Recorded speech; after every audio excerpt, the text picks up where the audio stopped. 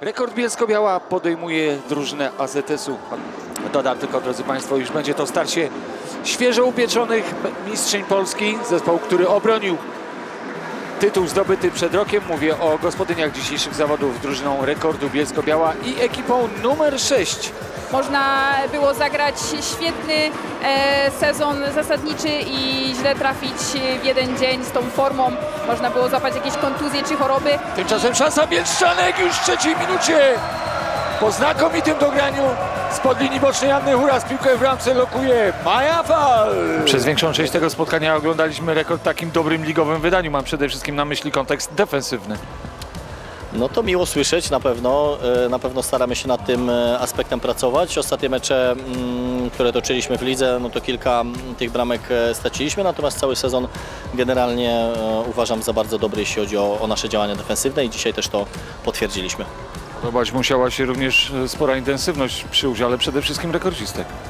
Staraliśmy się narzucić swój e, styl gry i e, troszkę doprowadzić do sytuacji, w której to my będziemy te warunki dyktować. To się nam udało. Graliśmy dwoma czwórkami, praktycznie dziewiątką zawodniczek, mm, więc na pewno ta intensywność to jest też ważny aspekt w naszej grze. Fajnie, że to się udało.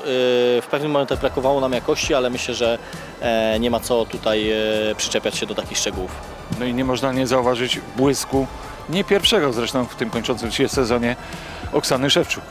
No tutaj jakby samo przez się rozumie się strzelenie hatryka w finale Pucharu Polski, to, to nie jest wyczyn, e, który, jest, e, który zdarza się na co dzień, dlatego Oksanie gratuluję, ale myślę, że cały rok pracowała na to, żeby, żeby tą formę w dniu dzisiejszym również udowodnić. Najprostsze pytanie świata. To jak to będzie w sobotnim rewanżu w Warszawie?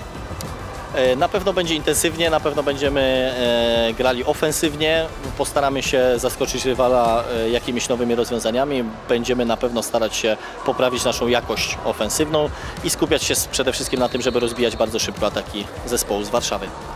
Katarzyna Jerynk z pierwszej piłki.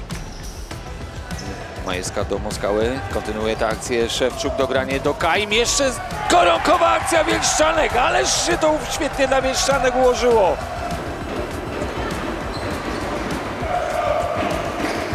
Rosłoń, niczym rasowy pivot, no, trąciła tę piłkę. Szybko wznowiła od autu Szostak. Kaim, to Szostak, jeszcze przeciągnięcie tej akcji, ale znów jak po szturku ułożyła się ta trójkowa akcja Bielszczanek.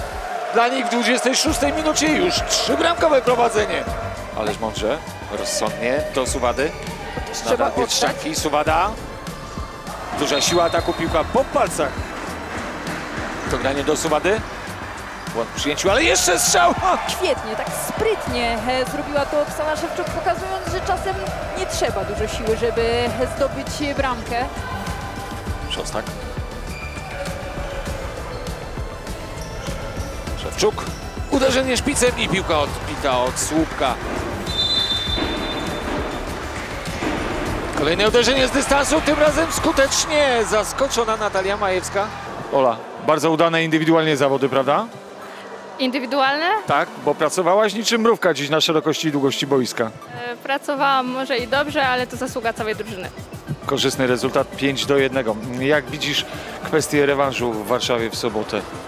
E, Myślę, że jesteśmy na dobrej drodze, żeby zdobyć puchary, jeśli będziemy tak pracować jak dzisiaj, czyli drużynowo i bardzo dobrze w obronie. Bardziej zadowolona z tego, jak prezentowałyście się w defensywie, czy ze skuteczności w ataku? E, chyba zadowolona z tego i z tego, ale cieszy, się, cieszy to, że straciłyśmy jedną bramkę i nie pozwoliłyśmy e, na strzelenie im więcej goli. Gratuluję zatem pierwszego kroku ku zdobyciu Pucharu Polski. Super, dziękuję bardzo.